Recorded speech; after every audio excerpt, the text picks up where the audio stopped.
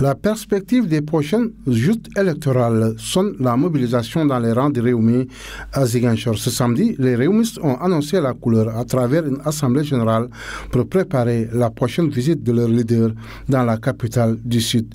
Une rencontre qui a été également une tribune pour tirer sur le régime du président Macky Sall. Comme on a été reçu par le président Idriss la semaine dernière, on a convoqué cette réunion pour remobiliser les troupes remobiliser tout le monde, tous les militants et tous les sympathisants de la Casamance, de Réumi, qu'on s'organise d'ici 2019, il nous reste un an pour les élections, d'amener le président Idriss au palais de la République. Avec le président Macky Sall, que je respecte comme président de la République du Sénégal, mais vous, vous-même, en tant que journaliste, vous avez vu la Casamance.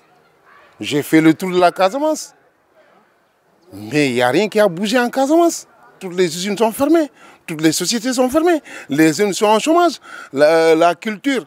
Aujourd'hui, au Sénégal, quand, on parle de la culture du, riz, c'est la Casamance. Mais aujourd'hui, la culture est où? Au nord, dans la vallée du fleuve Sénégal.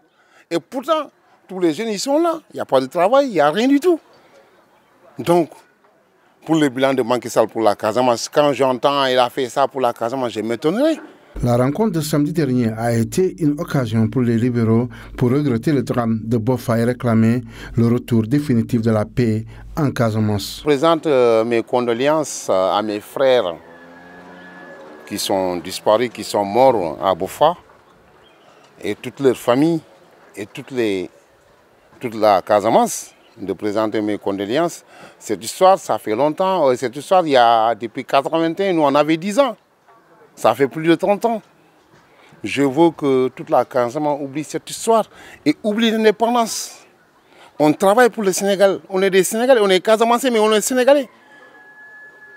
On cherche une paix durable, qu'on oublie cette indépendance.